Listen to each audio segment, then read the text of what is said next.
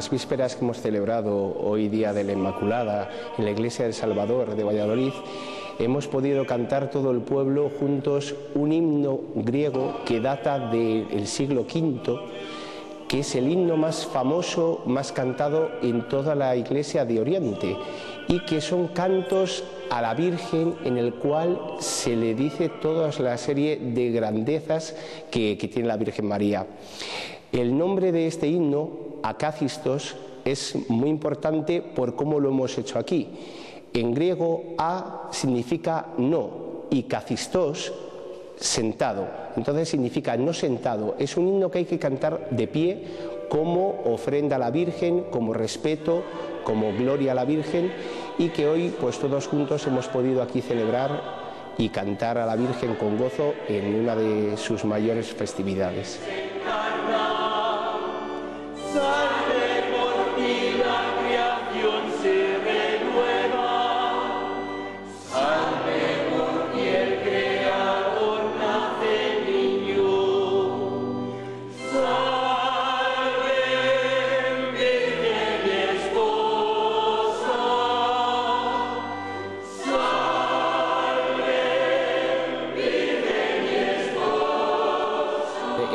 Acacistos tiene diversas partes.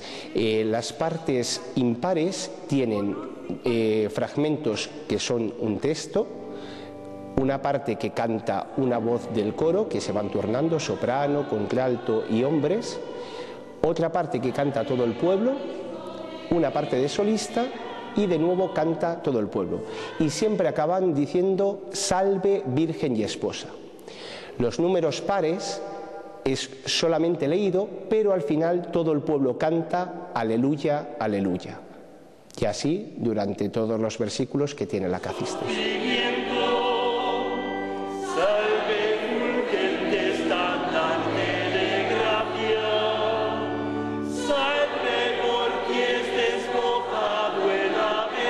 Son unas segundas vísperas, como las que se celebran en festividades grandes y que se celebran a las 8 de la tarde. Entonces comienzan igual que cualquier víspera, pues que con Dios mío ven en mi auxilio. Después se canta el acacistos, tenemos unos salmos que también se cantan, igual que un cántico, hay un pequeño responsorio y unas peticiones, el Magnificat a la Virgen María y se termina cantando e incensando a la Virgen con el Salve Regina.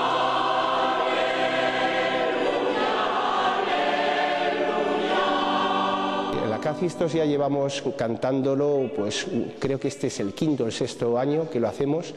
Y bueno, pues todos los años eh, a partir de octubre, pasado la festividad de la Virgen del Pilar, que colaboramos siempre con la Guardia Civil y la Catedral, eh, comenzamos a ensayar este himno porque es complejo compaginar las distintas voces que tienen que cantar como solistas, eh, las partes de coro, de pueblo, que todo vaya suficientemente bien conectado para que no pierda fuerza el himno y que todo sea un continuo que desemboque en el último aleluya, aleluya.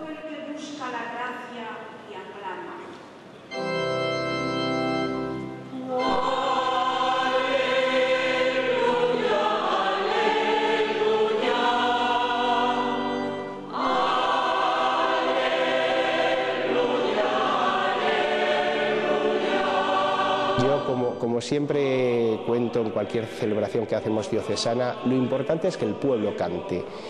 Esto nunca los coros deberían de ser, aunque por desgracia a lo largo de la historia han sido, conciertos ni animadores simplemente para que la Eucaristía sea más amena, no, no.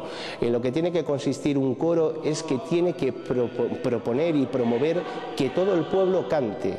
Y es sencillo, con cantos que puedan entender, que sean fáciles de hacer, sin excesiva polifonía, que queda muy bonito, pero que lo importante es que el pueblo celebre. Igual que el director. El director no debe ser director, sino animador litúrgico que lo que haga es conducir al pueblo a que participe activamente con el canto a través de toda la Eucaristía o de este caso de unas vísperas.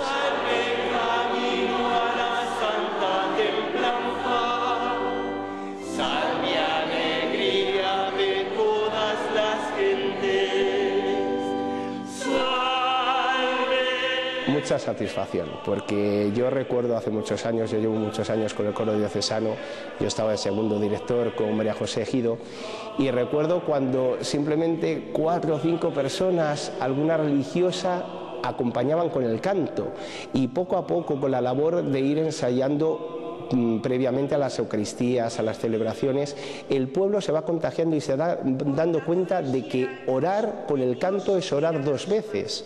Y la verdad que es una gran satisfacción ver que todo el mundo cada vez vive más las Eucaristías y profundiza mucho más en la fe y en la oración.